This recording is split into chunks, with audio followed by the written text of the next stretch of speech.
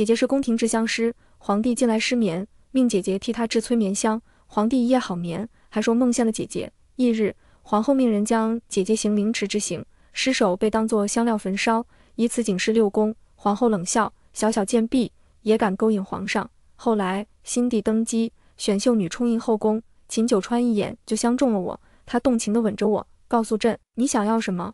我自然不会告诉他，我要用太后的命来祭奠我惨死的姐姐。新帝秦九川接连三夜翻了我的牌子。众妃嫔给太后请安后，太后单独留下我陪她用膳。殿内香气袅袅，我秀眉微颦，这香有问题。太后杜兰饶有兴致地问我：“冉嫔，知道这是什么香吗？”我凝神细嗅，这位安神香以白芷、当归、香附、龙脑等十几味药材为底料，有安神助眠之效。可很显然，这位安神香还加了别的香料。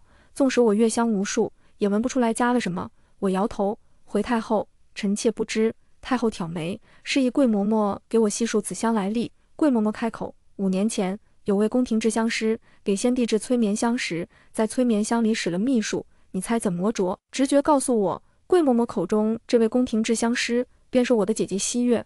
我故作淡定，桂嬷嬷直说便是。先帝闻了那位宫廷制香师的香，夜里睡得很香。”却在睡梦中梦见了制香师，制香师颇有姿色。他自作聪明，以为在乡里稍作手脚就能得到先帝青睐，飞上枝头变凤凰。只可惜呀，贱婢就是贱婢，永远当不了主子。他的下场怎一个惨字可形容？你知道凌迟之刑吗？用最锋利的刀片将肉一片片剜下来，薄如蚕翼，刀刀不致命，剜足三千六百刀才咽气。人的血、肉、骨皆是香料，制成香后可以美容养颜。紧致肌肤，一血补血。现在店内燃的这支香，正是以那位制香师的血肉骨制成的美人香。冉嫔，这美人香好闻吗？我拽紧手帕，面上镇定自若，可心底已经翻江倒海。姐姐汐月比我年长五岁，我与她相依为命，她疼我护我，总是把最好的都留给我，苦和委屈都自己受着。姐姐被剜了三千六百刀才咽气，可想而知她生前经历了怎样的痛苦。可始作俑者却这魔轻飘飘地说出来。仿佛像是捏死一只无关紧要的蚂蚁。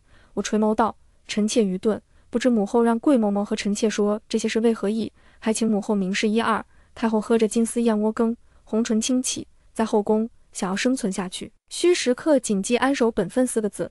那位制香师便是生了不该有的念头，才落得如此下场，是他活该。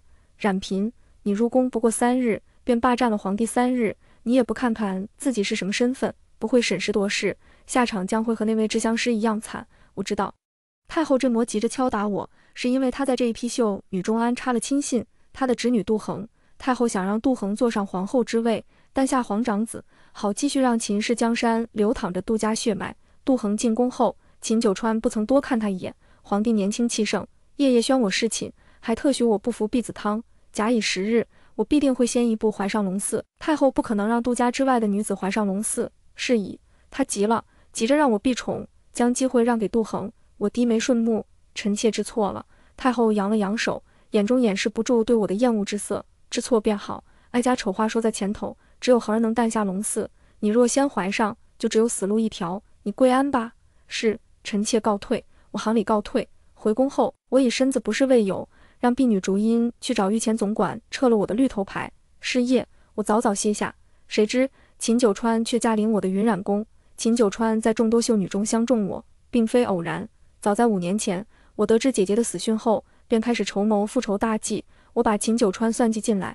前几年他还是太子时，常出宫走动，我们三番五次偶遇，加上有一回他遇刺，是我对他施以援手，让他以为遇到了真命天女。这一切都为我进宫选秀埋下伏笔。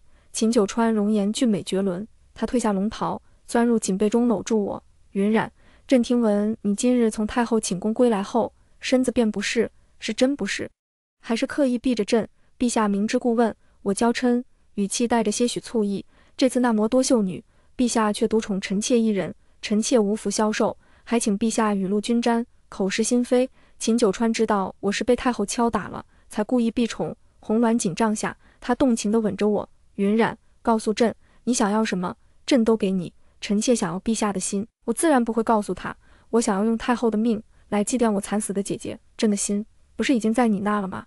秦九川握住我的手，放在他胸膛，霸气凛然道：“朕的后宫之事，轮不到太后插手，你大可不必将她的话放在心上。宫中有传闻，秦九川并非太后亲生，看来传闻并非空穴来风。秦九川和太后的关系不似表面看到的那样和睦。嗯，我嘴角噙笑，将头埋在他肩膀处。翌日，太后要去皇家寺庙烧香，她临时指了我和杜恒一同前往。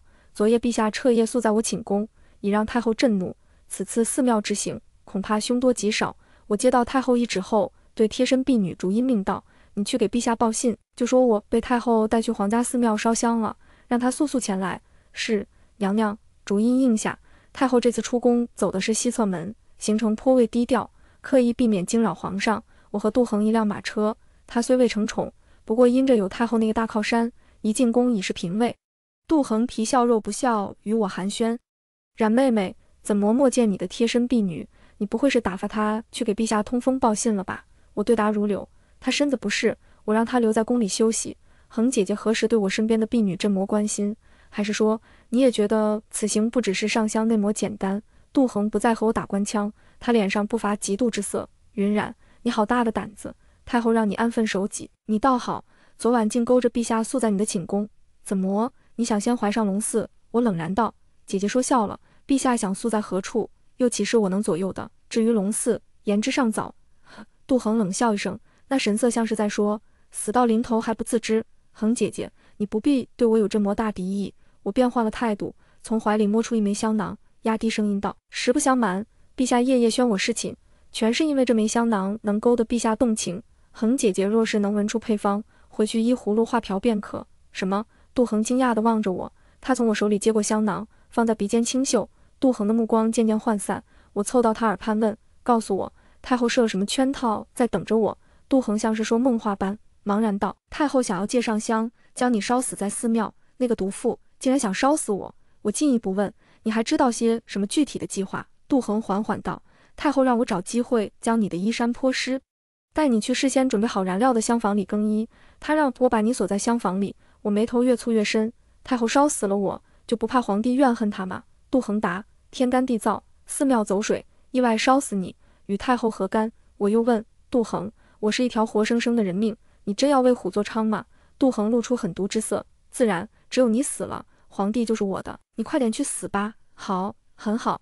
太后的狠毒都遗传给了杜恒。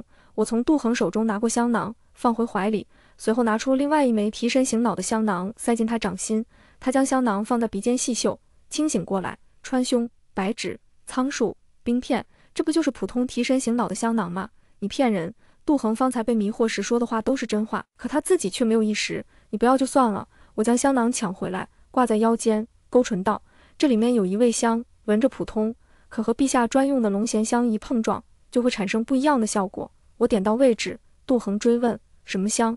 我怎么没闻出来？再给我闻闻。我摇头，机会只有一次，方才是你自己不要的。杜恒盯着我腰上的香囊冷哼：“有什么了不起的？皇帝迟早是我的，你得意不了多久。”我掀开车帘，望着车窗外，皇恩寺到了。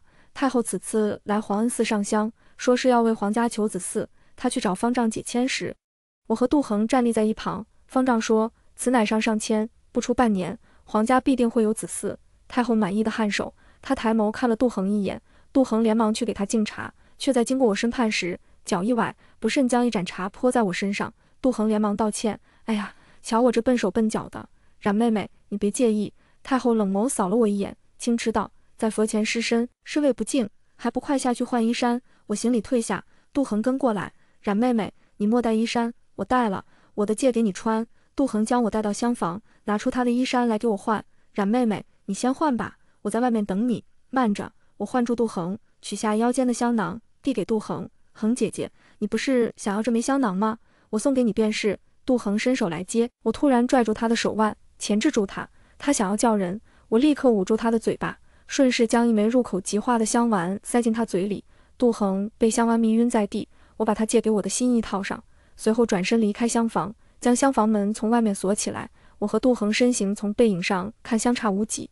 尤其是我穿着他的衣衫，背影能以假乱真。桂嬷嬷站在拐角处探出一个头来，她看见我离去的背影，以为是杜恒出来了，他连忙去安排人放火。厢房里有燃料，只需从屋顶掀开一片瓦，将火引丢进去即可。片刻后，我站在暗处，看见厢房有烟雾从门缝冒出，火光渐渐大了。寺庙的人早就提前被支走，只有一位扫地僧人提着水桶来灭火，却被桂嬷嬷拦下。桂嬷嬷从扫地僧人手中接过水桶，让他回去扫地。扫地僧人走后，桂嬷嬷将木桶里的水倒进厢房外的花园里。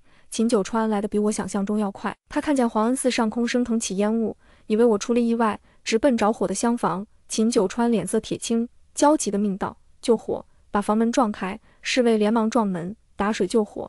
太后带着桂嬷嬷从佛室走出来。九川，你怎么来了？太后看了眼厢房上空的火势，她压下眸底的窃喜之色。太后以为我在里面不被烧死，也会被烧焦。她料定皇帝不会再宠幸一个被大火烧得毁容的妃嫔。秦九川没有理会太后，太后自顾自道：“冉嫔呢？不会在厢房里吧？桂嬷嬷，快让人救火！”我在暗中看着太后，再次感叹：她可真会演戏。她现在心底巴不得我烧死在里面。厢房门被侍卫撞开，秦九川欲冲进厢房救人，被侍卫拦下。陛下，让属下去。桂嬷嬷假惺惺地叹息道：“这么大的火势，恐怕人已经烧焦了。”秦九川冷横桂嬷嬷一眼，侍卫前脚才进去，他就耐不住性子，要往厢房里冲。我在花园拱门后，正准备开口叫秦九川，谁知后背忽然传来一阵钝痛，我脑袋晕眩，紧接着我被人扛在肩上，飞速离开。我在昏迷前用尽最后一丝力气，将腰间上的香囊取下，掉在地上。扛着我的人走得飞快，没听见香囊落进草丛的声音。等我再醒来时，身处一间昏暗的地下密室里，有人走进来。我透过光亮看见来人是之前提水去灭火的扫地僧人。我手脚被铁链绑起来，挣扎着道：“你为何要把我关在此处？你想要干什么？”扫地僧说：“太后真正想要烧死的人是你吧？我将你关在此处。”自然是想要用你去和太后谈交易，你想要什么，皇帝同样也可以给你。我也没料到还会冒出一个扫地僧，这可真是螳螂捕蝉，黄雀在后。扫地僧很理智，你以为我傻？若是让皇帝知道是我抓了你，他只会让人将我五马分尸。但太后就不一样了，她能给我想要的一切。我继续游说，你将我放了，我保证不会追究你的责任，不会让皇帝知道是你抓了我。你想要什么，我给你，别做无谓的挣扎了。我要的。只有找太后要才更稳妥。扫地僧说完，把吃食放在地上，准备离开密室。慢着，我叫住他：“你既然想要将我献给太后，为何还要将我关在此处？就不怕皇帝的人找过来，夜长梦多？”扫地僧止住脚步，为我答疑解惑。杜恒脸被烧伤，成了半个废人。太后一气之下晕死过去，要等他醒来。扫地僧说完，又补充道：“放心吧，此处极为隐秘。皇帝的人将皇恩寺里里外外翻了三遍。”也没找到此处。等他们找来之时，你早就被太后带走了。扫地僧离开密室，我在脑中整理着他方才说的话，里面有几条重要信息：杜恒被烧伤，太后昏迷，皇帝派人将皇恩寺翻了三遍都没找到我。我想起我昏迷前曾将香囊掉在地上，秦九川既已派人将黄恩寺找了三遍，想必已经找到那枚香囊。那枚香囊他认得，知道是我的。以他的聪明才智，定能凭借香囊找到密室。收起思绪。我余光看见扫地僧离去前留在地上的脚印，我爬过去，用指腹摸了一下那个脚印，指腹上沾了一层灰烬。我眸光一亮，恍然大悟，这间密室在厢房之下，厢房已经被烧成一片灰烬，侍卫自然不会着重找厢房。扫地僧趁着侍卫去别处寻找时，将我转移到厢房之下的密室，所以侍卫才找不到。第二日天未亮，秦九川赶回去上朝，太后醒了，扫地僧带着太后和桂嬷嬷来到地下密室见我。扫地僧在密室外守着，桂嬷嬷冲上来对着我就是一巴掌。太后恨我恨得牙痒痒，贱人，你竟然将杜恒关在厢房，害得他浑身烧伤，差点没命。我舌尖尝到了血腥味，冷眼瞧着太后。太后，坏事做多了是要遭到报应的，如今报应在你侄女身上。太后冷笑，啊，这么多年死在哀家手里的人不在少数，哀家现在活得好好的，多杀你一个也无妨。太后说着命桂嬷嬷动手，桂嬷嬷抽出一把匕首来。靠近我，桂嬷嬷突然发现了什么，回头对太后说：“娘娘，你有没有发现冉嫔和以前那个被行凌迟之刑的智香师长得有几分相似？她有没有可能是汐月的妹妹？”太后经桂嬷嬷这么一提醒，仔细地观察起我来，看了片刻，她眸光一厉：“你说的没错，确实有几分相似，严刑逼供。若她是西月的妹妹，哀家还有大用处。我正好奇太后说的大用处是什么。”桂嬷嬷拿着匕首摁在我脸颊上，恶狠狠地说：“冉嫔。”你到底是不是西月的妹妹？老实交代，还可以少吃点苦头。若是你咬紧牙关不说，那就别怪我刮花你这张如花似玉的脸了。桂嬷嬷手中的匕首在我脸颊上划开一道细痕，她咬牙切齿道：“你是莫看见杜恒的惨状，他半张脸都被烧焦了，这辈子都不能以真面貌示人。不如我也先将你的脸刮花，我出奇冷静，不必废话。我是西月的妹妹，你们想如何？”哈哈哈！桂嬷嬷大笑：“娘娘，她是西月的妹妹。”镇魔说：“困扰娘娘这么多年的噩梦，终于可以摆脱了。”太后面露喜色，拍手称快道：“是啊，西月那贱人死了还不消停，这么多年缠得哀家睡不着一个好觉。我们只要按照方丈的法子，将他的至亲杀死，将尸体切成块，用香料腌制在坛中，就可以把西月的灵魂引进去，再做法将坛子封印起来，她们两姐妹就可以在坛中相聚，再也无法出来纠缠哀家了。哀家找了这么多年，没有找到西月的至亲，莫想到你自个儿送上门来了，真是替哀家省心呐。”竟还有镇魔残忍邪恶的法子。桂嬷嬷对太后禀道：“娘娘，未免夜长梦多，我们尽快找方丈开坛做法吧。”太后颔首。桂嬷嬷把匕首收起来，望向密室外时，突然想到了什么，她走到太后身畔，压低声音道：“娘娘，外面那扫地僧人怎么办？”太后一将声音压得很低，商议道：“他想要方丈之位，可我们又要方丈开坛做法，待哀家想想两全其美之策，先把冉嫔转移出去。”是。桂嬷嬷颔首。桂嬷嬷正要去外面叫扫地僧人来给我开铁链，外面传来一阵犬吠声。我心知是秦九川找来了。我先前丢下那枚香囊，人的鼻子寻不着一路的踪迹，可训练有素的狗却能嗅得出。我猜的没错，是秦九川带人找来了。侍卫找到了密室的路。秦九川去上朝是声东击西，狗吠声和侍卫的脚步声越来越近。太后和桂嬷嬷脸色大变。扫地僧自知计划败露，他目光在我和太后身上游离片刻。随后用匕首挟持住了太后。太后娘娘想要活命就听我的。太后还从未被人抵住过脖子，她不敢和亡命之徒硬拼，连忙应道：“好，你休要伤到哀家。”密室的门被踹开，皇家禁军将太后、桂嬷嬷、扫地僧团团围住。秦九川走进来，他看见我，立刻走上来抱住我。来人，帮冉平开铁链。他眼中只有我的安危，连太后被扫地僧挟持，他也不曾多看一眼。太后出声道：“川儿。”救母后，扫地僧出声道：“皇帝若是想要太后活命，就给我准备一匹最快的马。等我安全了，自然会放了太后。”秦九川淡声道：“来人，给他一匹最快的马。”是。侍卫领命，出去准备马。秦九川将我抱出密室。从密室出来后，我得知方丈已经在方丈室服毒自尽了。想来他怕皇帝问罪，所以先以死谢罪。侍卫牵来最快的马给扫地僧人，扫地僧人挟持太后，策马离去。太后一把年纪了。扫地僧人将马骑得飞快，吓了太后花容失色。秦九川将我带回皇宫，并下令将桂嬷嬷带回去审问。我脸上的伤很浅，秦九川命御医给我开了最好的祛疤药膏。御医说我脸上的伤疤不出半月就会恢复如初。扫地僧将太后挟持走了后，秦九川派侍卫远远跟着，可他看起来并不是很关心太后的死活。我想试探试探他和太后的关系，这对我的复仇计划来说很关键。这夜，我好奇问。陛下，您不担心太后的安危吗？秦九川沉默了片刻后，对我坦白道：“云染，其实朕一直怀疑太后并非我生母，宫中也有过风言风语。可太后她一口咬定朕是她亲生，就连我父皇在世时，亦亲口说她是我生母。我反问，所以你将桂嬷嬷关入天牢，就是想要从她嘴里问出些什么话？”秦九川颔首：“嗯，他跟随太后多年，口风很严，问不出什么关键信息。”我对秦九川说。陛下，让我来吧。秦九川应道：“好。”天牢，我拿着一枚香囊，朝桂嬷嬷走近。她身上满是鲜血，食指被夹得血肉模糊。可纵使这样，她也没说出一句对太后不利的话。我将香囊拆开，将里面的香料直接塞进她嘴里，用水灌她喝下。她的眼神涣散起来。我问道：“桂嬷嬷，秦九川是不是太后亲生？”桂嬷嬷下意识摇头：“不是，她生母早就死了。”秦九川眸底浮起杀意，他走近问桂嬷嬷。朕的娘是怎么死的？事情久远。桂嬷嬷想了好一会儿，才答道：“你是说云娘啊？”说来话长。秦九川命道：“将你知道的一五一十说出来。”桂嬷嬷缓缓道：“当年先帝微服出巡时，宠幸了云娘，云娘怀上了你，却不愿随先帝回宫。她说她不愿被束缚在皇宫里，先帝便也就没有勉强。娘娘知道了云娘的存在，怕云娘诞下的子嗣威胁到她的皇后之位，所以派杀手去杀云娘。云娘一路逃跑。”等杀手找到云娘时，她已经生下了你。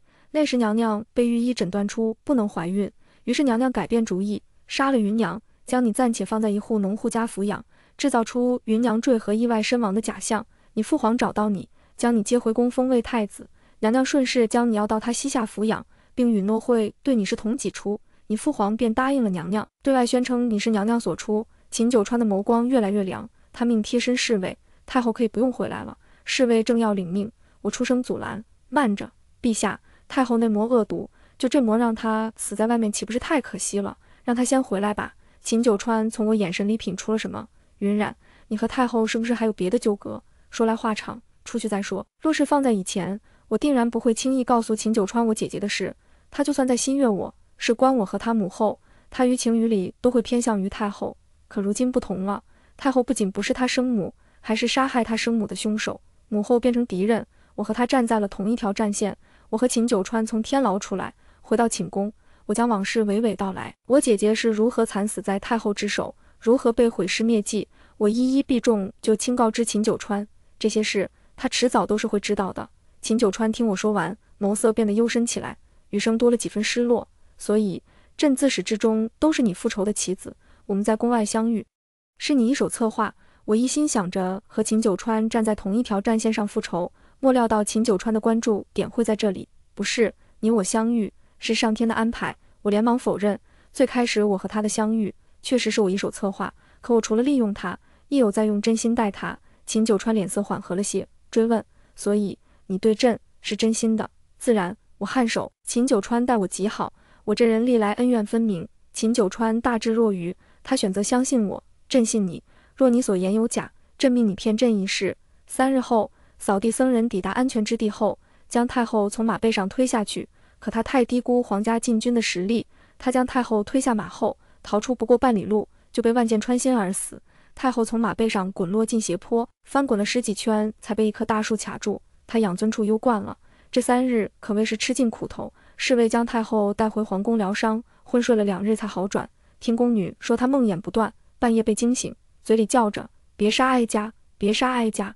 亏心事做多了的人，睡觉也不踏实。他抓着贴身婢女问：“桂嬷嬷呢？她怎么还不来伺候哀家？”婢女小心翼翼答道：“回太后娘娘，您忘了吗？您回宫时，奴婢就告诉过您，桂嬷嬷在皇恩寺被皇帝叫人押走了，尚未归来。”太后挣扎着从榻上起来，替哀家更衣。哀家要去献川，婢女连忙跪下道：“太后娘娘，使不得，这个点陛下已经歇下，还是等明日天亮再去吧。”太后揉了揉太阳穴，她也知道这个点不便去打搅皇帝，可她是太后，自认为皇帝会迁就她。不行，桂嬷嬷不在身边，哀家心里头不踏实。哀家现在就要去找九川，让他把桂嬷嬷还给哀家。太后从榻上起来，让婢女伺候她更衣。太后来的时候，我和秦九川已就寝。此时的我已经从染嫔晋升为冉贵妃。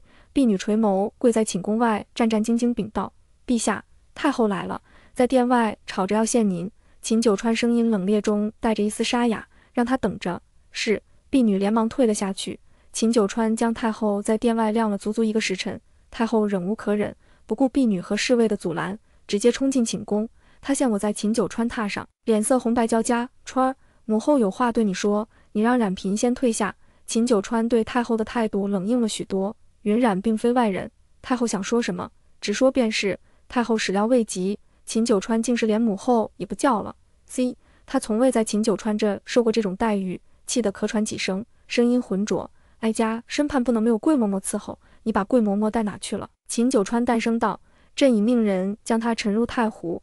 太后若是想找她的尸骨，去太湖找罢。”什么？你竟然敢！太后气得险些站不稳，被婢女扶住。九川，你骗母后的是吗？你历来敬重母后，就算桂嬷嬷有罪，也要等母后回来再定夺，不是？是啊，朕历来敬重母后。秦九川目视着太后，反问：可你值得被朕敬重吗？你配得上母后两个字吗？太后微愕，川儿，你说这话是什么意思？秦九川挑明了说：你做的那些丧尽天良的事，桂嬷嬷已悉数告知朕了，你令朕很失望。太后一个踉跄。气急攻心，竟又晕了过去。次日天亮时，桂嬷嬷的尸身被人从太湖捞出来。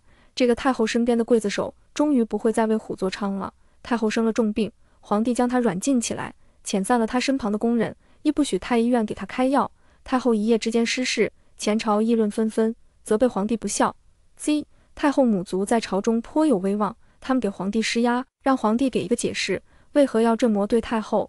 可惜秦九川并非傀儡皇帝，他在朝堂上说一不二，杀伐果断，不受大臣们牵制。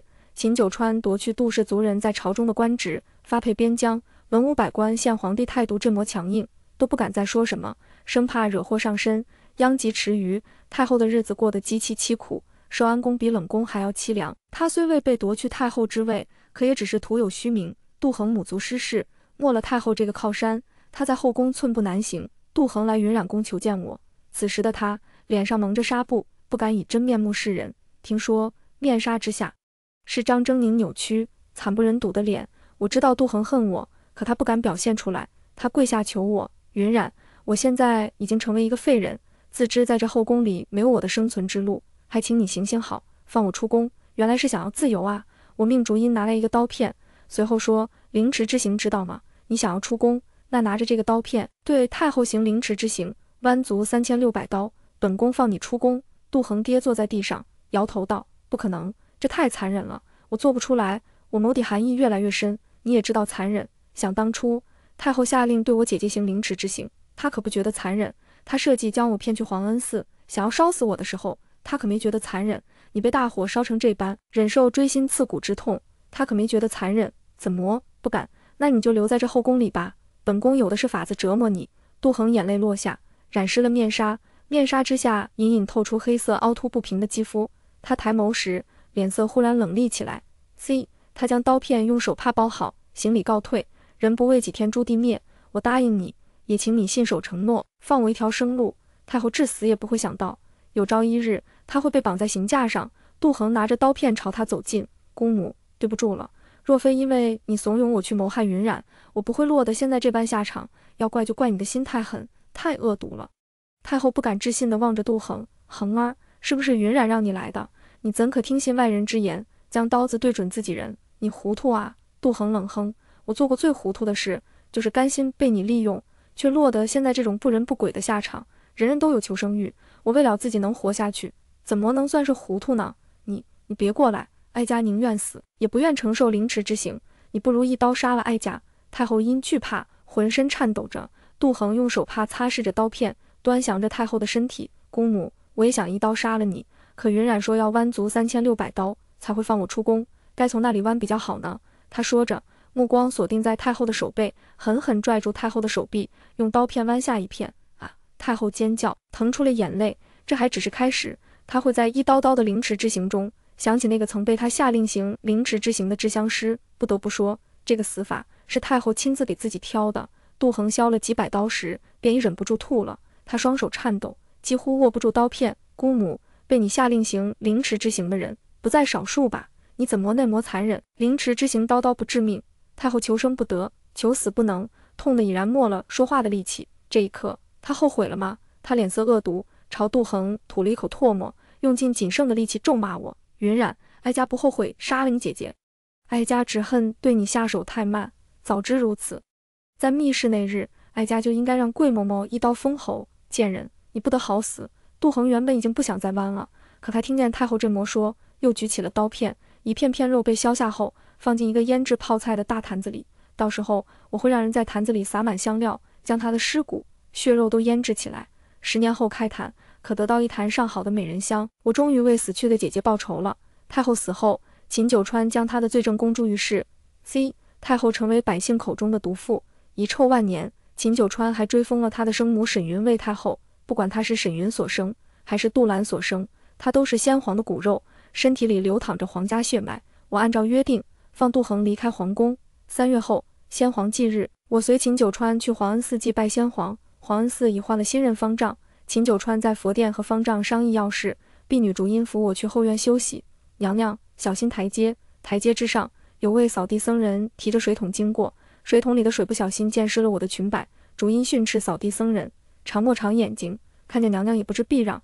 扫地僧人连忙跪下认错，他垂着眸道：“娘娘饶命，小的是无心之过。”这位扫地僧人看着面生，早就不是原来那位。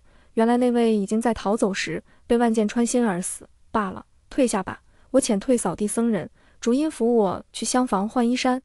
以前被烧成灰烬的厢房已经重新修缮过，在修缮前，秦九川亲自看过图纸，我还在旁给他提了建议。皇恩寺里供奉着秦氏王朝的列祖列宗们，秦九川每年都要来祭拜几回。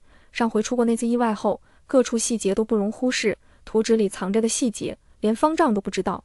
主因将我带至厢房，退下去拿要换的衣物。我坐在软榻上，打量着这间厢房，鼻尖闻到了火药的味道。我眉心一跳，正想起身离开，先前颇视我裙摆的那位扫地僧人从帘子后走出来，声音不再伪装：“云染，别来无恙。”我听出是杜恒。他竟然戴上人皮面具，伪装成扫地僧人。我起身，在房里踱步，冷静地问杜恒：“你剜了杜兰三千六百刀才换来自由，为何又要回来？为何？”呵呵，杜恒仰天大笑起来。他揭开脸上的人皮面具，我看见一张扭曲、凹凸不平的脸，看一眼便忍不住反胃。他笑够了，眸光一厉，恨恨道：“云染，我这张脸，人不人，鬼不鬼，就算自由了，可我活着还有什么意义？”我反驳：“人做错了事，总归是要受到惩罚。若当初你没有和太后同流合污，你就不会落得这般下场。要怪，只能怪你自己。”杜恒怒声道：“好一个怪我自己！我知这是我该得到的惩罚，可我想不开，我无法面对我这张脸。我恨，凭什么你是集万千宠爱于一身的贵妃，而我却如同活在阴沟里的老鼠？原本我比你更有资本得到秦九川的宠爱，凭什么？你凭什么？”我不后悔当初联合太后杀你，因为一旦成功，我将会代替你得到秦九川的宠爱。我只恨我不够谨慎，被你反扑。杜恒目眦欲裂，反正我也不想活了，我要拉着你给我陪葬。他说罢，从腰间取下一个火折子，嘴角勾起一抹邪恶的笑。云染，我们一起同归于尽吧。我在他说话时，走到了密室开门的位置，在他点燃火折子的那一瞬间，我拉开密道开关，凭脚下裂开一道口子，我掉进密道里。密道关闭时，一道火光升腾而起，我在密道里都能听见头顶传来巨大的炸裂声。轰！沿着密道往前走，就可以来到皇恩寺后的树林。我站在林子里，看见皇恩寺那间厢房上空传来黑色烟雾和漫天火光。不用想都知道，秦九川这个时候定然方寸大乱，急着要往厢房里冲。我得赶紧回去给他报平安。